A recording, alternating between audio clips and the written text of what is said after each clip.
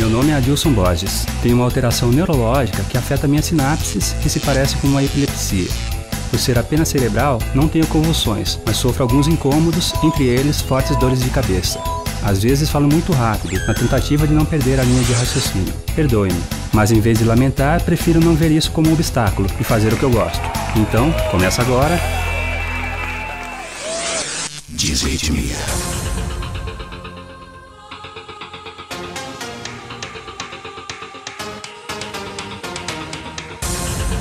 Ele é humorista, apresentador e radialista. Passou pelas rádios USP e 89 e atualmente está no ar pela Mix FM. Ao lado de Paulo Bonfá e Felipe Xavier, criou Os Sobrinhos do Ataíde. Passou pelas TVs Band e Multishow, mas foi na MTV onde permaneceu por mais tempo à frente do Rock Go. Em 2016, estará lançando o livro Portuguesa Brasileira. E hoje a gente vai bater um papo com o Marco Bianchi. Marco, muito obrigado por nos receber aqui hoje, viu? Imagina, um prazer falar com vocês. Desculpa pela demora aí para poder marcar a conversa. Que é isso. Você começou cedo no humor, né? Você fazia já no rádio, né? A princípio. Como é que foi esse começo seu no humor? Eu comecei a fazer faculdade de rádio e TV em 1990, para vocês verem que eu já sou meio velhinho. Sou de 72, né? Então eu entrei com 18 anos na faculdade. Eu já gostava de humor. Eu já tinha uma família engraçada, eu já tinha amigos bem-humorados, mas eu no, no, na faculdade pela primeira vez fiz um trabalho, um programa de rádio. Eu fiz a criação, fiz os textos e na época chamei até alguns dos meus futuros sócios para participarem daquele programa na, na, faculdade. E aquilo me despertou assim um, um prazer de, de, de criar humor muito grande. Então eu a partir de 91 levei aquele projeto na Rádio USP, o diretor da Rádio USP me deu uma chance de botar aquilo no ar e eu então passei a partir dali quatro anos na Rádio USP, fazendo um programa que não era remunerado, mas que ao mesmo tempo era um espaço que eu tinha de experimentação que toda a rádio universitária, aliás, deveria exercer esse papel, infelizmente não exerce. Mas foi ali que eu comecei, que eu vi que eu tinha alguma vocação para aquilo também na prática, né, adquirindo alguma técnica. Eu fui muito um autodidata do humor, testei muita coisa e a partir dali meio que aprendi a, a, a ser humorista. Depois disso eu falei, putz, agora eu, eu não posso fazer outra coisa porque isso é muito legal, me dava prazer, eu gostava de fazer e eu achava que eu tinha vocação. Então eu comecei a me concentrar naquilo, nunca mais fiz nenhum trabalho que não fosse de humor. Quer dizer, pelo menos que eu lembro. é, você tem muita facilidade para criar bordões e personagens, né? Quando você entrou na faculdade, você já tinha ideia de fazer humor? Você já pensou isso? Ou esse primeiro trabalho que deu essa possibilidade? Eu, eu tinha, acho que tinha já alguma ideia, porque eu sempre me interessei por criação. Eu não sabia que a minha criação ela ia se voltar para o lado do humorismo. Eu achava que eu talvez tivesse uma vocação para criar textos de propaganda. A propaganda também né, tem no humor uma ferramenta importante. Eu fui fazer faculdade de propaganda e radi radialismo, rádio TV, né? Daí eu logo percebi que eu queria fazer rádio TV, porque na propaganda você usa toda a sua criatividade para vender um produto e no radialismo você produz ficção, quer dizer, você produz, como eu produzi naquele momento, o que você quiser. Então eu criei meus personagens, criei o surfista, criei paródia de um programa infantil, que era o Pequeno Wilber. E daí a partir de algumas referências que eu tinha de televisão, de propaganda, mesmo no rádio, como a PRK30 e PRK30 é, um, é, uma referência muito importante porque foi um programa de humor histórico dos anos 50, que realmente era um fenômeno na época em que o rádio ainda era o, o rádio, né? Referências mais recentes também no rádio.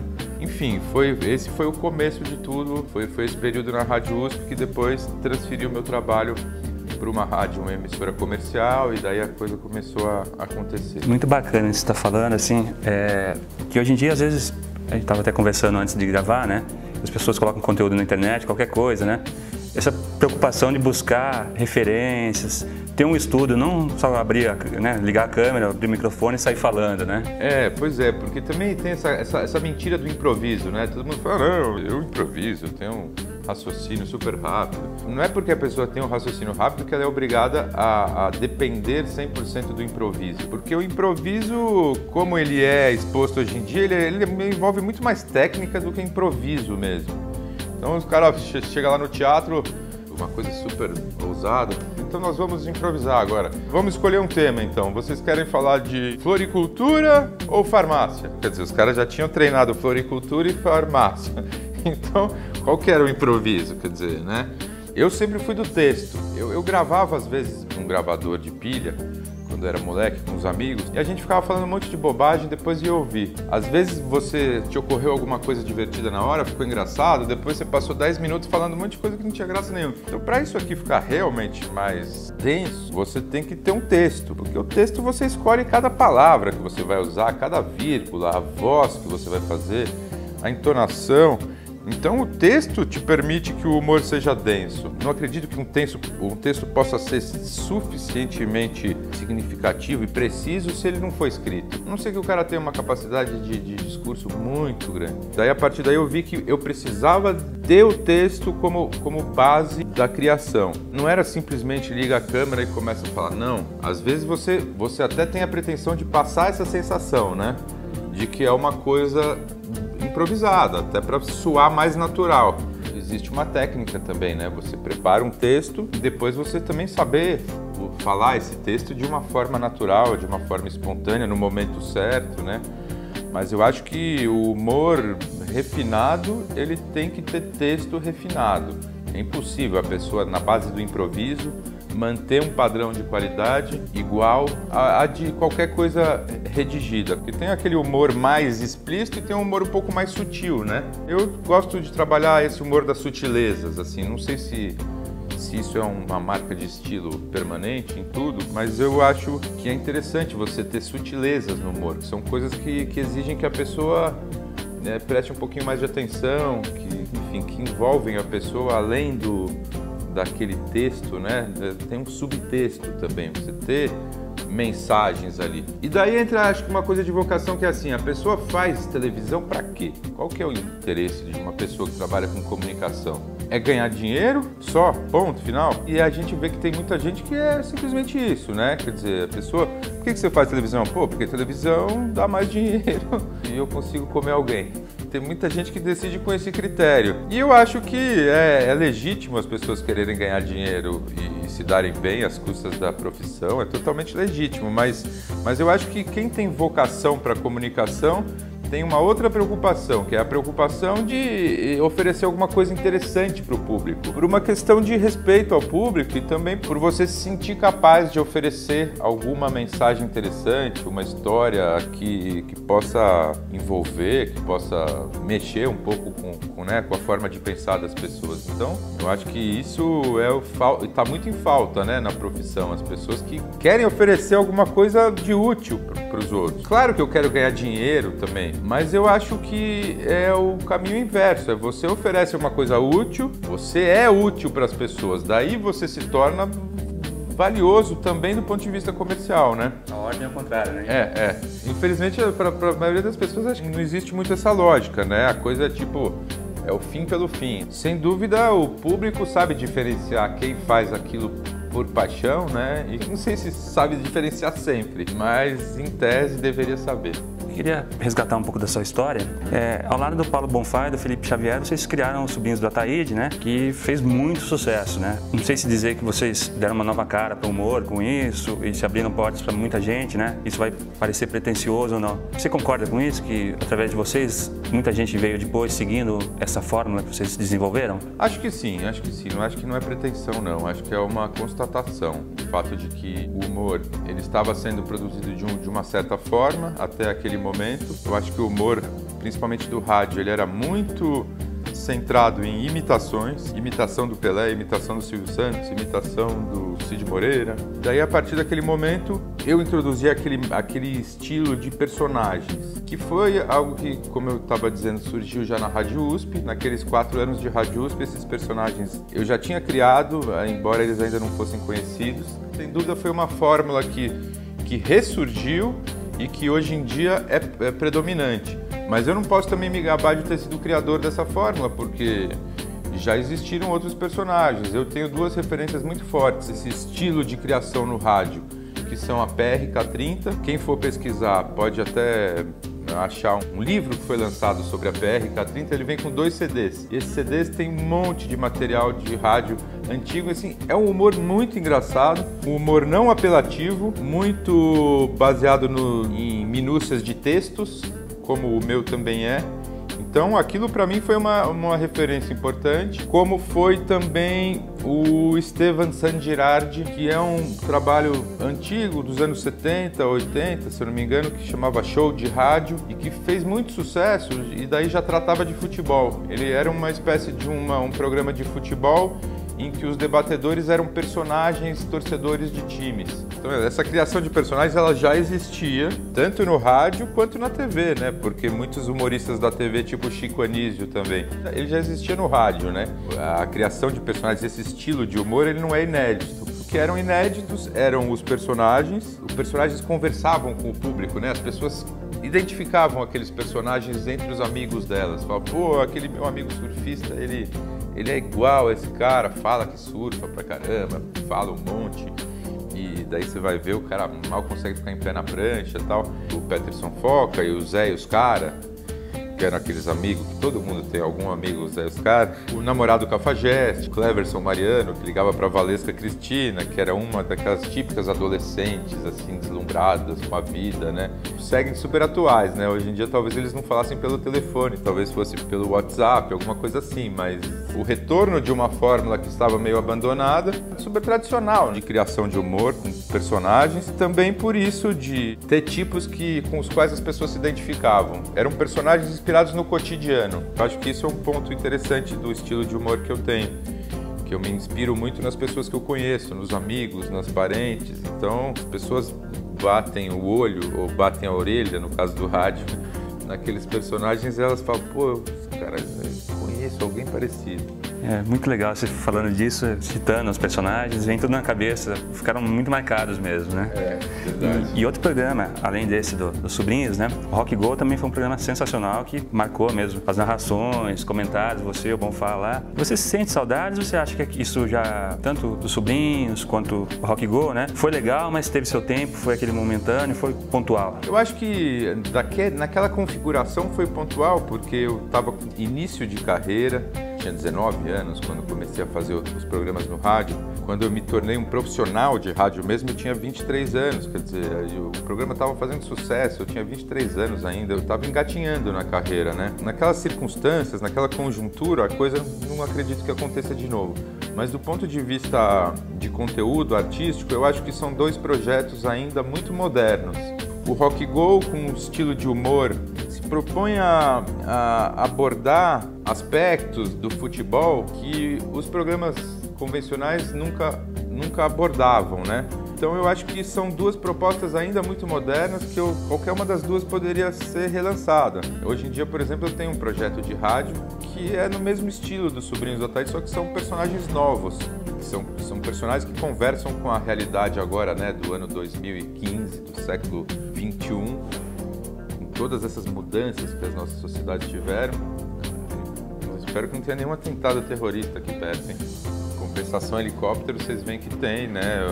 Nossa câmera 43, né? Que fica sobrevoando aqui para mostrar a imagem aérea da entrevista. E é isso. Eu vejo que você é uma pessoa engajada, assim, se expressa bem, é engajada politicamente também, conhecendo um pouco mais pessoalmente, assim, vejo referências, pessoa que lê e provavelmente buscou informações, é, assim. Um pouco. Você perdeu o senso de humor. Como é que você vê o atual momento do Brasil hoje, tanto questão de política, questão da comunicação, as redes sociais dão uma falsa dimensão de realidade e do poder político da sociedade também. Como é que você vê o atual é, momento? Eu acho que um pouco sim. As redes sociais, as pessoas acham que o fato delas opinarem vai mudar o mundo. Uma opinião por si só não muda o mundo, né? Principalmente se for uma opinião isolada. Eu acho que as redes sociais têm um papel muito importante de integrar a sociedade, de, de mobilizar a sociedade para que ela participe. O brasileiro é muito passivo, né? De alguma forma, a rede social está estimulando as pessoas a serem mais participativas em torno de assuntos que afetam diretamente a vida delas, como é a política, né?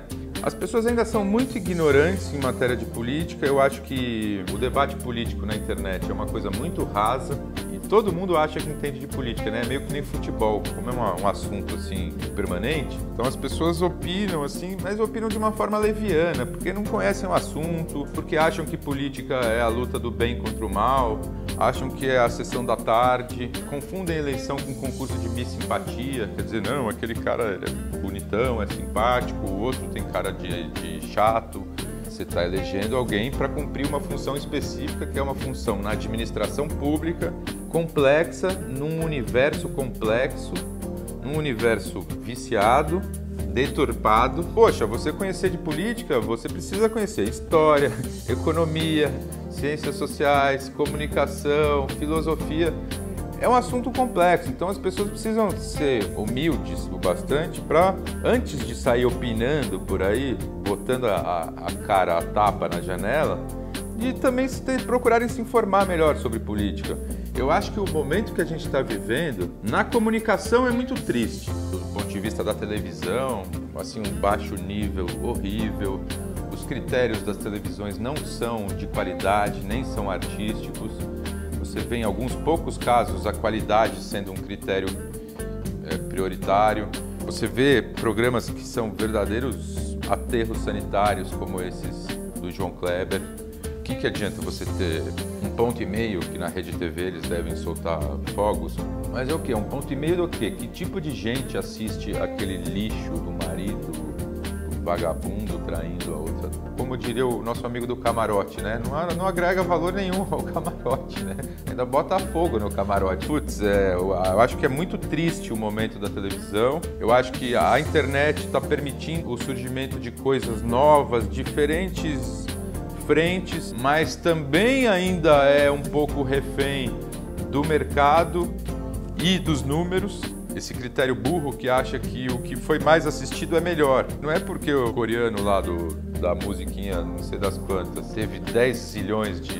Não é porque tem é, audiência que é bom. Então, essa é uma visão burra de, de televisão que também se transferiu, infelizmente, para a internet, eu acho. Apesar de que, pelo menos na internet, você tem ali ilhas de excelência. Você tem iniciativas pioneiras, assim, você tem, acho que, em algumas situações, é, conteúdos e profissionais que se destacam, que se desligam um pouco dessa, dessa realidade. E, putz, na política, cara, olha, pô, eu não sei nem por onde começar, porque eu tenho 43 anos, eu nunca vi o Brasil viver um momento tão triste, tão deprimente, assim, tão vergonhoso.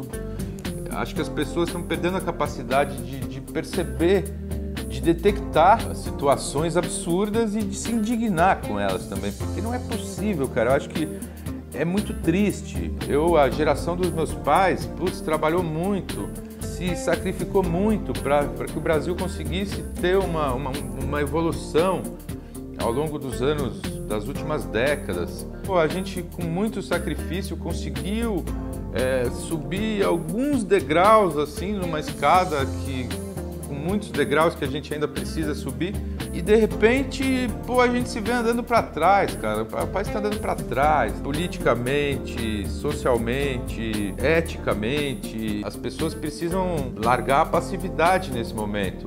Quem pode mudar essa situação somos nós. Mas assim, as pessoas são muito passivas, elas sempre estão esperando que alguém resolva a situação. Ou Deus, ou os super amigos, ou o Gugu liberado, ou o Luciano Huck, sei lá. Então as pessoas elas ficam esperando as coisas, as soluções caírem do céu. Elas perderam a, a, a consciência de que elas são o sujeito da oração, vamos dizer assim. Elas são o sujeito da história. Quem faz as coisas acontecerem é a população.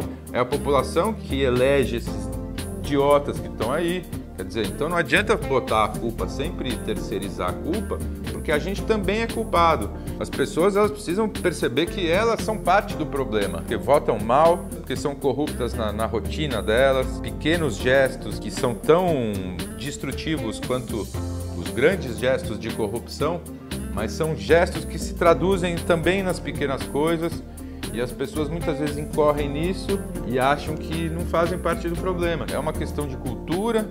Eu espero até que a internet ajude em alguma medida a mudar isso, porque a gente chegou no fundo do poço, cara. Não tem como piorar além disso. Qual que vai ser a próxima? O que, que vai ter amanhã? Quer dizer, o que, que precisa mais para os políticos votarem uma série de reformas estruturais?